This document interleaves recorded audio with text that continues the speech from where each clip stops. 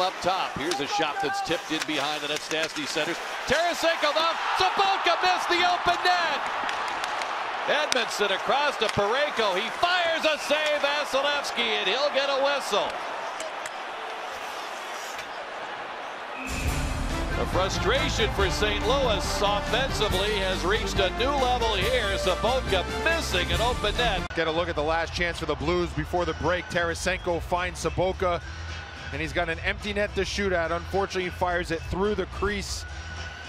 Sobotka and Tarasenko couldn't believe that they missed on that opportunity.